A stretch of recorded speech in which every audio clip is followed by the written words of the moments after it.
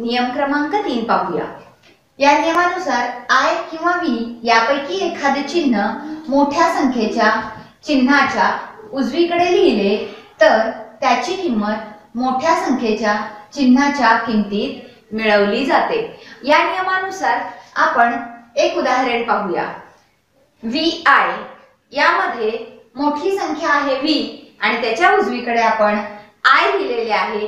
असे असताना आपल्याला जी संख्या मिळते ती कशी मिळते तर पहा व्ही ची किंमत आपण लिहिली पाच आणि आय ची किंमत लिहिली एक. आणि या दोघांची आपण नियमानुसार बेरीज केली तर आपल्याला मिळतात सहा. अशा प्रकारे व्ही आय म्हणजेच सहा.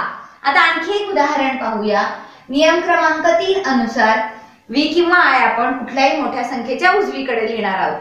यामध्ये एक्सच्या उजवीकडे आय लिहिलेले आहे आणि असताना आपण एक्सच्या किमतीमध्ये आय ची किंमत मिळवणार आहोत. एक्स ची किंमत आहे दहा आणि आय ची किंमत आहे एक. या दोघांची बेरीज करून मिळते संख्या अकरा.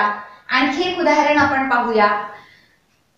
एक्स व्ही एक्सच्या उजवीकडे आपण व्ही लिहिलेला आहे आणि आता एक्सच्या किमतीमध्ये आपण व्ही ची किंमत मिळवूया. एक्स ची किंमत दहा आणि व्ही ची किंमत आहे पाच. या दोघांची बेरीज करून मिळतात पंधरा.